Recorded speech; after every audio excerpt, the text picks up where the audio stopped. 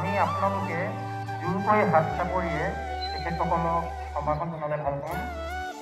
কাৰণ অশেষ কষ্ট কৰি আমাৰ উপস্থিত হৈছেহি এই শতবৰ্ষ কিতাপৰ সম্ভৱ শতবৰ্ষ আমাৰ সকলোৱে প্ৰাণৰো প্ৰাণ। ইয়াত বহুতো জড়িত হৈ আছে। আমাতকৈ অগ্ৰজসকলে জানিব মঞ্চত বহি থকা অগ্ৰজসকলে জানিব ইয়াত বহুত জড়িত হৈ আছে। গতিকে আজি আমাৰ সুযোগ আমি বিভিন্নজন জ্ঞানী ব্যক্তিক মাতি আনি আজি তেখেতসকলৰ পৰা আমাৰ বিভাগটোৰ হকে বা আমাৰ এই পামখন এটা ইয়াত শাৰী যিটো আমাৰ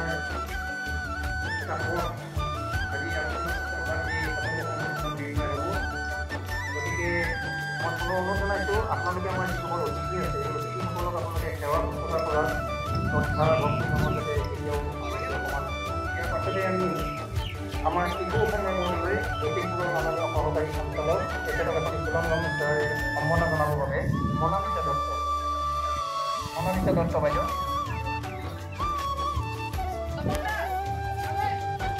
আৰু মহিলা সবলীকৰণ আৰু নতুন প্ৰজন্মৰ জৰিয়তে অৰ্থনৈতিক বিকাশ এক পৰ্যালোচনা।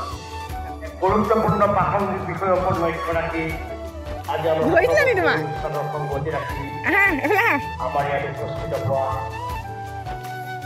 আমাৰ অবিভক্ত শিৱসাগৰ জিলাৰ বিভিন্ন প্ৰান্তৰ পৰা অহা এজন শিল্পী কলা কুশলীসমূহ আমাৰ সেৱাৰ কিতাপৰ বাসী স্থানীয় ৰাইজ আমাৰ উদ্যোক্তা যোৰহাট জিলাৰ সহকাৰী ৰেচম সঞ্চালক কাৰ্যালয়ৰ কৰ্মৰত সকলো বিষয়া কৰ্মচাৰীবৃন্দ। আৰু আজি আমাৰ সভাকক্ষত উপস্থিত আমাৰ স্থানীয় ৰেচম শিল্পৰ লগত জড়িত ৰেচম শিল্পৰ আমাৰ বিদ্যজন আৰু অসমৰ বিভিন্ন প্ৰান্তৰ পৰা অহা আমাৰ ৰেচম শিল্পৰ লগত জড়িত বিভিন্ন আমাৰ কাৰিকৰী বিষয়া কলা কৰ্মীসকল আৰু আমাৰ মঞ্চত উপবিষ্ট আজি ৰেচম কৰ্মশালাৰ বিষয়বস্তুৰ ওপৰত আলোকপাত কৰিবলৈ অহা এইবোৰ হেৰি ন নুন কি হেৰি হয় ন মণিমালা পাত পলু নুনি হেৰি হয় ন অ নো চোৱা এইটো কি চোৱা দেখি দেখি পোৱাই নাই চাগে দেখোন নাই দেখিছা প্ৰাক্তন অসম এইটোৱে এই পাত জানো নুনি পাত খায় নুনী পাত পাত এইটো বেলেগ লখিমপুৰৰ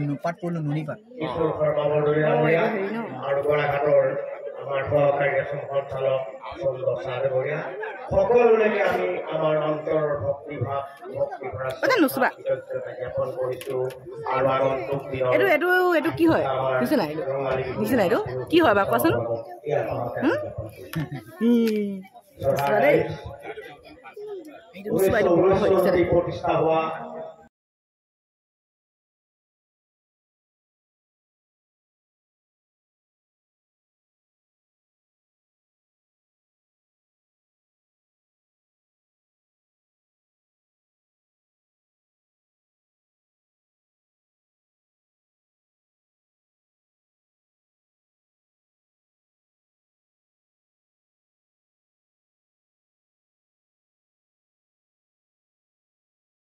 এতিয়া আমাৰ যিসকল ঘৰুৱা বোৱনী কাকনি বা এইবিলাক চি-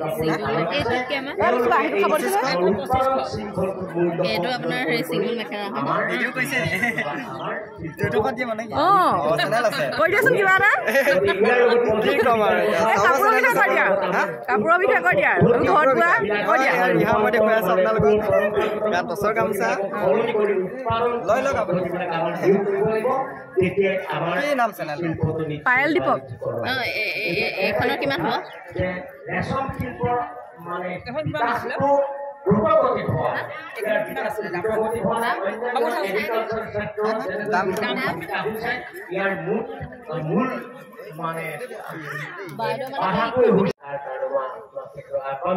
আৰু মই প্ৰথমতে তেখেতক আজি বিষয়বস্তুৰ ওপৰত সংগতি ৰাখি মই তেখেতৰ বিষয়বস্তু মই উত্থাপন কৰিবৰ কাৰণে আহ্বান জনাম ধৰাচোন আঙুলিটো ধৰা অ, সি কি কৰিছে চোৱাচোন বোলে দেখিছানে কি কৰিছে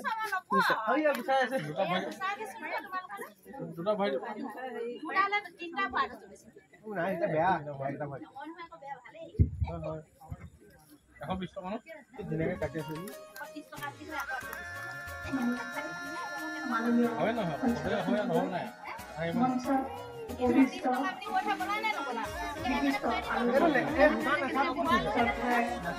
দেখিছা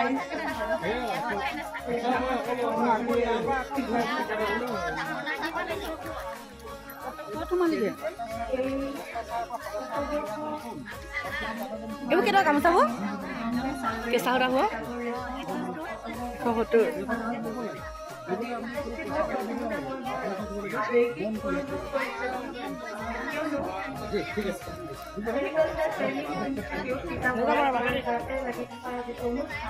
সেই অনুষ্ঠানটোত মোৰ প্ৰথম কৰ্মজীৱনৰ আৰম্ভণি আৰু প্ৰতিবেশী হিচাপে এই অনুষ্ঠানটো প্ৰতি যি কভিড এটা সেই কভিড এটা আজি পুনৰ সজীৱ হৈছে আৰু ইয়াৰ পৰা গৈ মই অসম কৃষি বিশ্ববিদ্যালয়ৰ ৰেচম বিভাগত যোগদান কৰোঁ।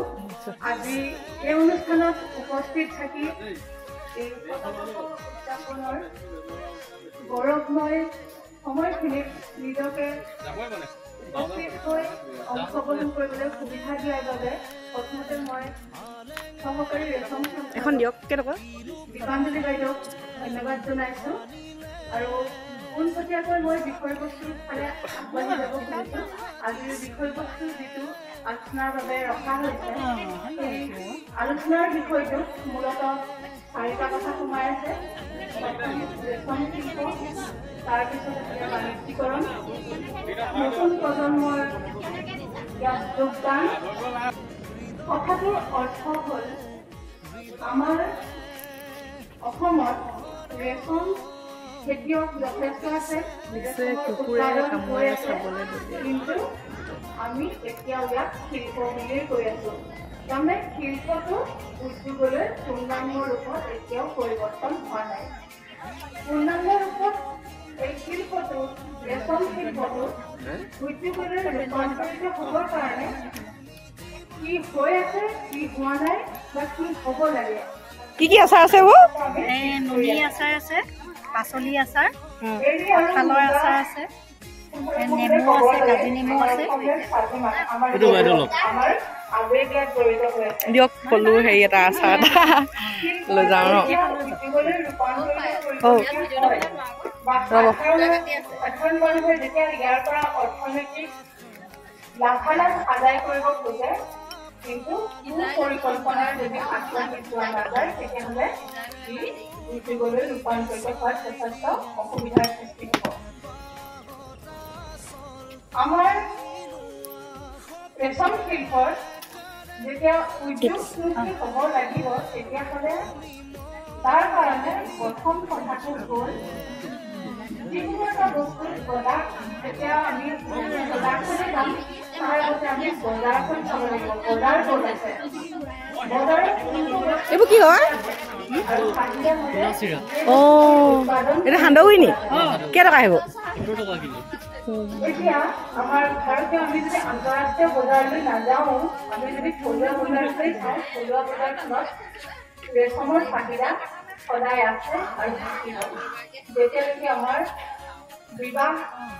উৎসৱ থাকিব অন্যান্য উৎসৱ থাকিব নুনী এটা এইটো নুনি নেকি? এইটো হেৰি হেৰি বোলো ন? অঁ এইটো এৰী। এইটো কঁঠালৰ নালাগে দিয়ক। এইটোকে দিয়ক বাৰু এটা লৈ যাওঁ ন? আমি উৎপাদন কৰিবলৈ আগবাঢ়ি যাব পাৰোঁ। চাহিদা কোনবোৰ বস্তু আছে? যিকোনো উদ্যমিতা বিকাশৰ কাৰণে ইয়াৰ পৰা হেৰি কৰি আছে ন? মই নাই দেখা আজি প্ৰথম দেখিছো এনেকে কাটে বুলি দেই। মুগাৰ ন? অঁ। কিন্তু এই যুগত নপঢ়াকে কিন্তু একো নহয় পঢ়িব লাগিব। এজন এনেকুৱা নহয় যে আমি কিতাপ পঢ়িব লাগিব। আমি আমাৰ সন্মুখত যথেষ্টখিনি এতিয়া ছ'চিয়েল মিডিয়া আছে। আমি সেই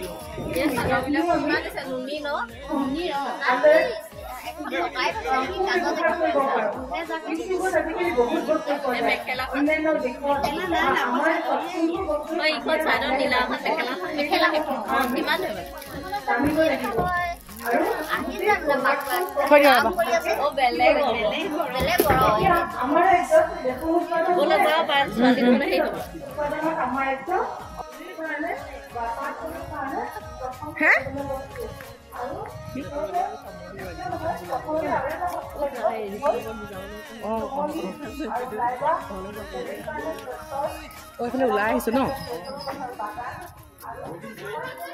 বোলক বোলক